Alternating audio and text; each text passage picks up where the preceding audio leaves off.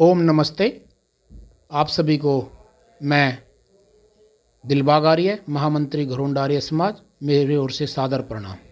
देखिए, Arya Samaj Gharaunda YouTube channel समय समय पर आप लोगों के बीच में अनेक आर्य जगत के विद्वानों, भजनों, उपदेशकों, अन्य लोगों को आपके बीच में लाने का काम करता रहा है और निरंतर यह कर्म जारी है। आज हमारे बीच में आर्य जगत की प्रसिद्ध भजनोपदेशिका बहन संगीता आर्य जी हमारे कार्यालय में विराजमान है। तो सबसे पहले बहन जी, आपका स्वागत है, अभिनंदन है।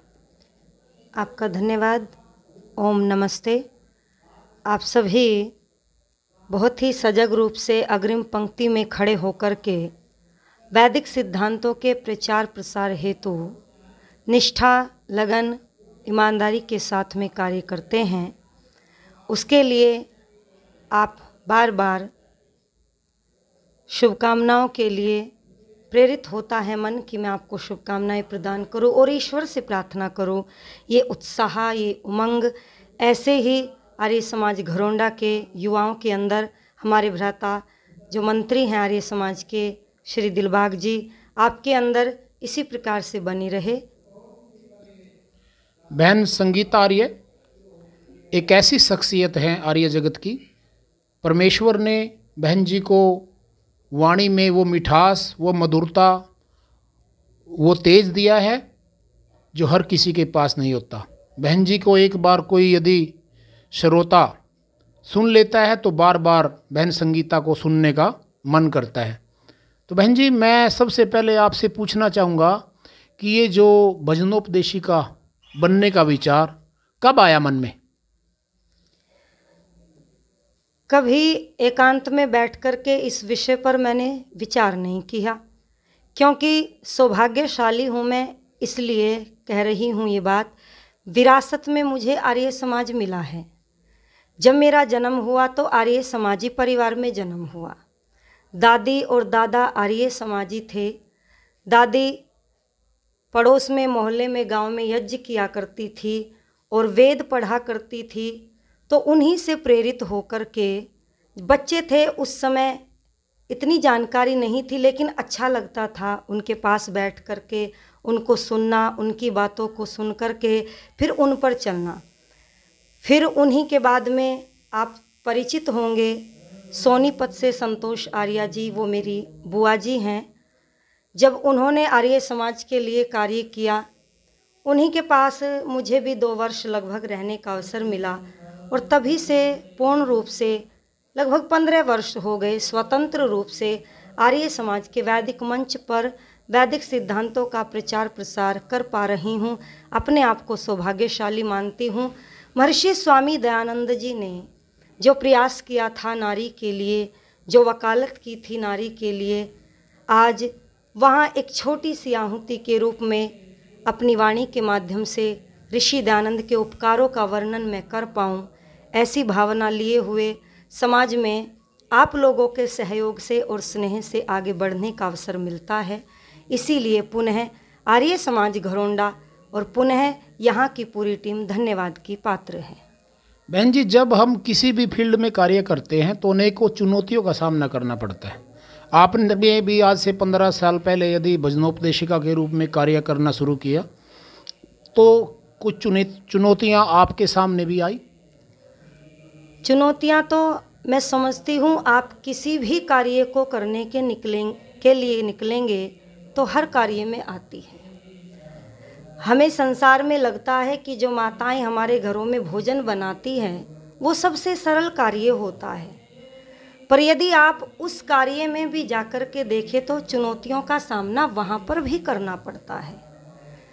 बस मेरा इतना ही मानना है, हम महर्षि स्वामी दयानंद जी के सिपाही हैं। हमारा ध्यान चुनौतियों पर न रह कर के पुरुषार्थी बन कर के कार्य क्षमता के आधार पर आगे बढ़ने की तरफ़ होना चाहिए। अर्थात, जो आर्य समाज चाहता है, आर्य समाज की गतिविधि, आर्य समाज के सिद्धांत ये है कि अंधेरा कितना है इस पर हमारा ध्यान ना हो। अंधेरा कैसे हटाए इस पर हमारा ध्यान ना हो, बल्कि हमारा कार्य दिए जलाने का होना चाहिए और जब दिए हम जलाएँगे तो अंधेरा अपने आप समाप्त हो जाएगा। चुनौतियों का सामना करते हुए यदि हम कार्य करते हैं तो निश्चित रूप से मैं समझती हूँ, ऋषि दयानंद और वैदिक सिद्धांतों के प्रचार प्रसार को एक आहुति हम प्रदान कर सकते हैं। तो आजकल संगीता आर्य जी का समय इतना व्यस्त है कि आर्य समाजों को समय भी नहीं मिल पाता कि एक एक साल पहले ही संगीता जी के कार्यक्रम पहले से ही तय कर लिए जाते हैं और उसी के तहत आगे प्रचार का कार्य चलता है। तो कभी ऐसा भी महसूस होता है कि सारा दिन कार्य लगे रहते हैं, लगे रहते हैं, कुछ आराम भी हो जाए, कभी ऐसा मन में प्रश्न आया कि कुछ थोड़ा रुका जाए? अब तो ऐसी आदत ही नहीं रही। बल्कि जो समय हमारे पास खाली होता है, उस समय ऐसा महसूस होता है कि समय बर्बाद हो रहा है। इस समय का अगर लाभ हम उठाते, सदुपयोग कर पाते तो कितना अच्छा होता। और मैं फिर से ये श्रेय महर्षि स्वामी दयानंद जी को ही दूँगी। क्योंकि जब ऋषि से पूछा था कि क्या आपको किसी प्रकार का कोई काम आकर के नहीं सताता तो ऋषि ने कहा था कि काम से ही कभी फुर्सत नहीं मिली कि जो किसी प्रकार का काम आने का, आकर के सताने का प्रयास करे। उनके अनुयायी हैं। इसीलिए जब पुरुषार्थ करते हैं और पुरुषार्थ के बाद फल मिलता है तो एक अलग ही आनंद का अनुभव होता है। और जो समय किसी दिन यदि किसी कारणवश कुछ स्वाध्याय या कुछ प्रचार या प्रसार नहीं कर पाते तो निश्चित रूप से ऐसा आभास होता है कि ये समय बर्बाद हुआ और पुनः ये समय लौट करके नहीं आएगा। बस यही धारणा हमारे समस्त आर्यों के अंदर हो और जिनके अंदर हैं, आप सभी जानते हैं, देखने को मिलता है। आर्य समाज घरोंडा के द्वारा हमारे युवा, हमारे बुज़ुर्ग, पदाधिकारी प्रत्येक दिन का सदुपयोग करते हैं। कहीं यज्ञ के माध्यम से, कहीं गाँव में, कहीं शहर में, कहीं घरों में या किसी प्रकार का आंदोलन लेकर के चलते हैं तो आप जैसे लोगों को देख कर के भी हमें प्रेरणा मिलती है, उत्साह बढ़ता है कि जब आर्य समाज वो संस्था है जो कार्य करने की प्रेरणा देती है, पुरुषार्थ करने की प्रेरणा देती है, इसीलिए ऐसा कभी विचार ही नहीं आता कि हमें समय को बैठकर के व्यतीत करना चाहिए। और यही मैं आप सबसे भी कहती हूँ कि हमें समय का हमेशा सदुपयोग करना चाहिए। बहुत अच्छी बात बहन जी ने बताई कि महर्षि स्वामी दयानंद सरस्वती जी ने महिलाओं को जो सम्मान दिया, महिलाओं को जो अधिकार दिया, उसकी जितना भी वर्णन किया जाए कम होगा। मैं एक बात करना चाहूँगा बहन जी, जैसे कि आज लड़कियाँ जब आपको सुनती हैं, संगीता, हर कोई संगीता बनना चाहती है कि मैं भी इस तरह से कभी प्रस्तुति प्रस्तुति दूँ। तो ऐसी लड़कियों को जो कि इस क्षेत्र में आना चाहती हैं, उन्हें आप क्या परामर्श करेंगे? मैं उनको यही प्रेरणा देना चाहूँगी कि संसार में कोई भी कार्य असंभव नहीं है। बस आवश्यकता है तो उसकी पृष्ठभूमि को जानने की आवश्यकता है। सही निर्देश, सही दिशा मार्ग मिलने की आवश्यकता है। यदि वास्तविक रूप में उन बेटियों के अंदर एक उत्साह है, उमंग है, लगन है तो निश्चित रूप से मैं हर प्रकार से तैयार हूँ। भजन आदि के रूप से या हारमोनियम आदि के रूप से जैसे भी मेरे, मैं उनकी सहायता कर सकूँ, उस प्रकार की सहायता भी मैं देने के लिए तैयार हूँ। लेकिन मैं यही प्रेरणा उनको देना चाहूँगी कि केवल बनावट के लिए, सजावट के लिए आर्य समाज का मंच नहीं है। संसार में आप देखते हैं मंचों की कमी नहीं है और अन्य मंचों पर धन की भी कोई कमी नहीं है। यदि केवल बनावट, सजावट और धन की ही दृष्टि से आपको मंचों पर कार्य करना है तो फिर आर्य समाज के वैदिक मंच पर शायद हो सकता है आपको सफलता ना मिले। हाँ त्याग की प्रवृत्ति लेकर के, सिद्धांतों के प्रति एक टीस लेकर के ऋषि दयानंद जी के प्रति एक श्रद्धांजलि समर्पित भाव से लेकर के यदि आप इस मंच पर आते हैं तो ऐसा नहीं कि यह मंच हमें कुछ नहीं देता। आर्य समाज के वैदिक मंच पर पद भी मिलता है, सम्मान भी मिलता है, यश और प्रतिष्ठा भी मिलती है। और मैं कह दूँ, अगर संतुष्टि आपको है अपने पुरुषार्थ से तो बोलो धन भी मिलता है।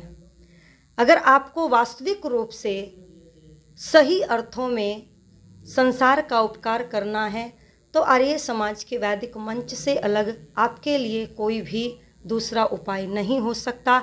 और यदि सजावट बनावट और धन या भौतिकता की चकाचौन चाहिए तो फिर आर्य समाज के वैदिक मंच पर आने का कोई औचित्य नहीं है।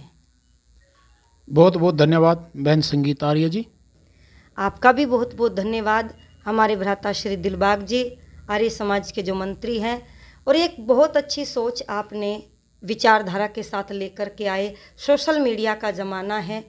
हम बहुत कार्य करते हैं आर्य समाज के जो लोग हैं, लेकिन मीडिया के मामले में हम थोड़ा पिछड़े हुए थे। आपने यूट्यूब चैनल के माध्यम से, आपने अन्य जितने भी हमारे पास माध्यम हैं फेसबुक टेलीग्राम आदि के माध्यम से, वैदिक सिद्धांतों को फैलाने का जो बीड़ा उठाया है जो टीस लेकर के चले हैं। निश्चित रूप से इसमें आपको सफलता प्राप्त होगी। और एक दिन आने वाले समय में Arya Samaj Gharaunda YouTube channel number एक पर अपने कार्यों के लिए जाना जाएगा। ये शुभकामनाएँ हमारी ओर से हैं और पुनः हम आप सभी का धन्यवाद करते हैं। ओम शांति। धन्यवाद बहन संगीत आर्य जी। मैं एक बार फिर आप सभी से अनुरोध करूँगा कि आर्य समाज घरोंडा का यूट्यूब चैनल आपके लिए वैदिक जगत की अनेकों गतिविधि आपके सामने बार बार लेकर इसी तरह से आता रहेगा। मैं निवेदन करूँगा कि आप इस चैनल को सब्सक्राइब करें और शेयर करें।